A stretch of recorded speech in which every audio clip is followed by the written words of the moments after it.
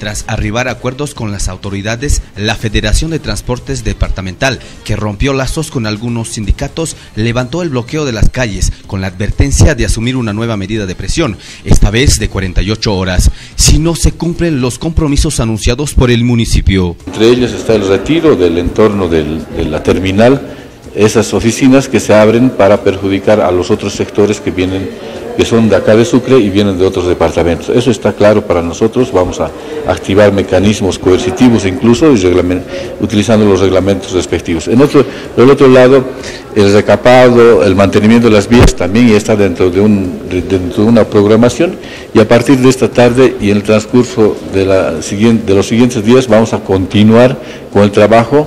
Hemos encontrado satisfacción con los, con los eh, compañeros de los sindicatos. El presidente del transporte sindicalizado en Chuquisaca, Severino Condori, destacó la disciplina de los afiliados que acataron la medida y calificó de contundente. No obstante, taxis y motociclistas circularon por las vías que quedaron libres y la presión se ejecutó sin un par de sindicatos.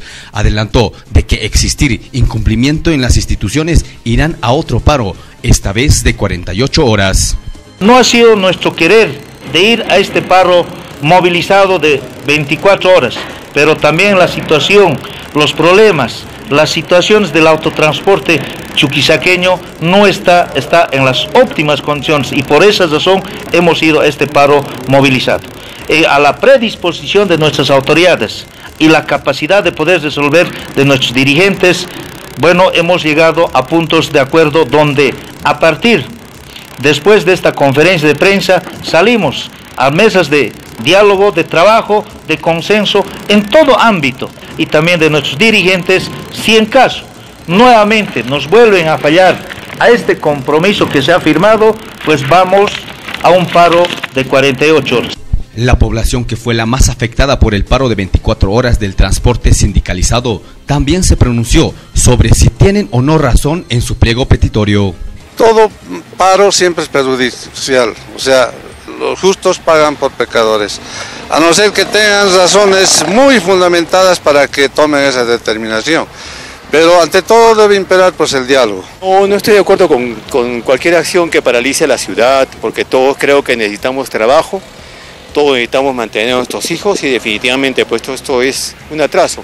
Paro es pues siempre perjudicial para todos, pero eh, todos pues los sectores tienen derecho a también hacerse sentir, ¿no? La verdad es, eh, es eh, ya es un problema pues eh, general de varios grupos.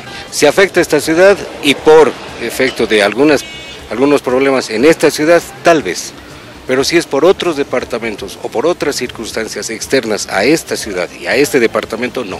Desde la gobernación consideran que el paro fue completamente político y maniobrado por el Ejecutivo de la Federación de Choferes, Severino Condori, en alianza con Carlos Mesa, y anunció acciones legales contra los responsables por las pérdidas en la Fábrica Nacional del Cemento.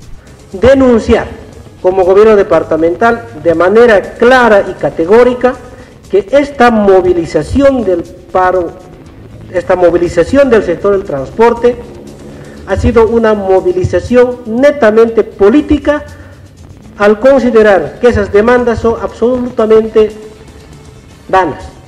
Pero además está llegando seguramente para planificar las próximas movilizaciones del sector transporte a la cabeza de este señor Severino Condori. Por ello nosotros consideramos que el paro el día de ayer ha sido un paro netamente político, movido por comunidad ciudadana a través de su operador político en Sucre, de Severino Condori, que está a la cabeza del transporte sindicalizado en nuestro departamento. El pasado 19 de agosto, luego de alcanzar un acuerdo con autoridades nacionales y departamentales, la Federación de Choferes de Chuquisaca suspendió el paro anunciado para el 20 de agosto, en la reunión del cual participaron autoridades nacionales de la gobernación y de la alcaldía de Sucre. Culminó con la firma de un acuerdo con el cual se dio por levantada la medida de presión y se establecieron 10 demandas del transporte que hasta el momento no habrían sido cumplidas.